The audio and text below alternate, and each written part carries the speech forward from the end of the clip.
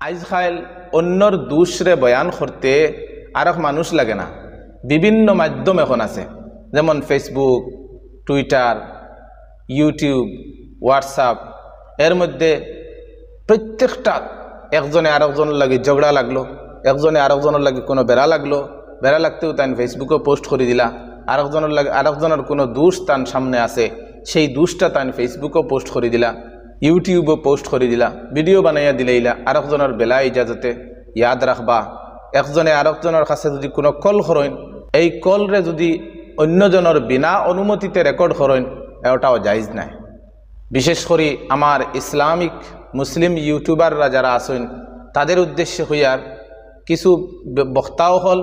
বক্তাও হলর আমরারও অনেক সময় হতা সঠিক বারোয় না। কোনো সময় মুখর স্লিপেও কোনো সময় স্লিপ হয়ে যায়। কোনো সময় কথাবার্তার মধ্যে ভুল ত্রুটি অনেক সময় পাওয়া যায়।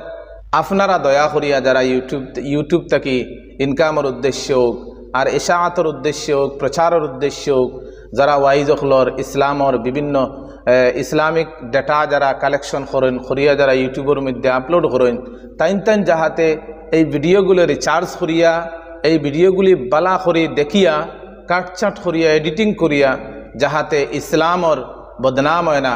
ইসলামরে মানুষে একটা হাস্যকর মনে করে না, সেটার দিকে অত্যন্ত লক্ষ্য করা দরকার। সামান্য একটা ভিউজর লাগি, সামান্য একটা টেকার লাগি, আপনি ভিউজ হওয়ার লাগি, যদি একজন একজন বক্তার কোনো ভুল, কোনো হাস্যকর জিনিসরে যদি আপনি তুলিয়া ধরেন, তাইলে ইটার লাগি আপনি দায়ী থাকবা। আর আফসুসর বিষয়, কিছু বক্তাও হল ওলা বারইছেন বায়ু হল, যে নিজে প্রচার হইবার লাগি, নিজে ভাইরাল হইবার লাগি। যা তা মুখ বায়ায়, যে তা মুখ বায়ায় তা হইতরা, গালিও দিতরা।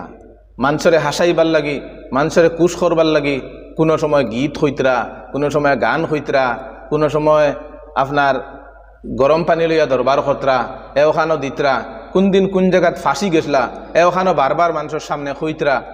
খানো কোরআনের আয়াত কোনবাই হাদিস শরীফ কোনবাই আলোচনা, এক ধরনের দর্শক হল আর ইনভাইট করনেওয়ালা হলের উপরেও তাজ্জুব হয় বাই অকল বুজুর্গ হল, দিন অত সস্তা নাই।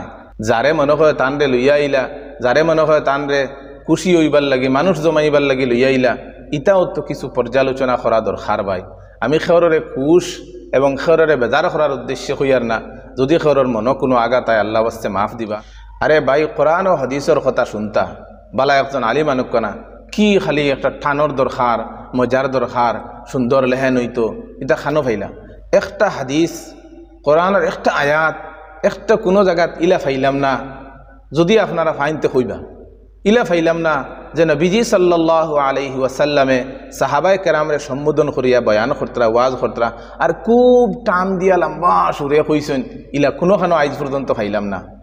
এর লাগি আমার দর্শক হলরে, ইনভাইট করিনেওয়ালা হলরে দাওয়াত করিনেওয়ালা হলরেও আমি অনুরোধ করিয়ার আপনারা সূক্ষ্মদর্শী, জ্ঞানী, চিন্তাবিদ, বালা আলিম আলিম হলরে আপনারা ইনভাইট করুকা। যাই হোক বন্ধুরা, আমার আজকের এই পরিবেশনার থাকি আমরা এই কথা উপদেশ লইয়া যাই, এই কথা সবক লইয়া যাই যে অন্যের দোষরে আরেকজনের খাসে বেলা জরুরতে আরেকজনের খাসে বয়ান করা এটা গুনার খাম।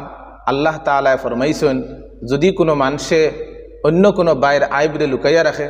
আল্লাহ তালা দুনিয়া তো তার আইবরে লুকাইয়া রাখবা আর আখেরাতেও তার আইবরে লুকাইয়া রাখবা। আল্লাহ তালায় আমরা হকলরে কবুল করুক। আল্লাহ আমিন।